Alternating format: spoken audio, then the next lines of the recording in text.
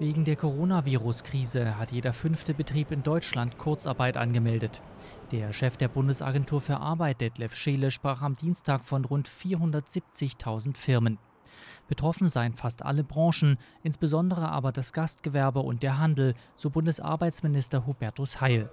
Wie viele Arbeitnehmer in den Betrieben davon betroffen sein werden, erfasst die BA erst, wenn tatsächlich kurz gearbeitet wurde. Die Bundesregierung rechnet aber mit über zwei Millionen Beschäftigten, die auf Kurzarbeitergeld angewiesen sein werden. Auch die Zahl der Arbeitslosen werde steigen, so Scheele. Wir beobachten zurzeit die Arbeitslosigkeit ähm, mit Blick auf unseren nächsten Zieltag. Das ist, ich glaube, der 12. April. Wir gehen zurzeit davon aus, dass die Arbeitslosigkeit im April um 150 bis 200.000 Menschen gestiegen ist. Damit ist noch nichts gesagt, was tatsächlich über das ganze Jahr passiert.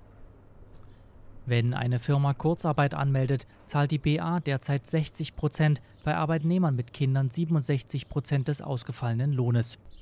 Bundesarbeitsminister Heil dringt aber darauf, dass Arbeitgeber das Kurzarbeitergeld aufstocken. Für Kurzarbeitergeld und Erstattung der Sozialbeiträge an die Arbeitgeber plant die BA zusätzlich außerplanmäßige Ausgaben von 10 Milliarden Euro ein. Sie kann dafür auf ihre Rücklagen von 26 Milliarden Euro zurückgreifen. Wenn die Krise tiefer und länger verläuft, ist somit auch ein höherer Aufwand zu finanzieren.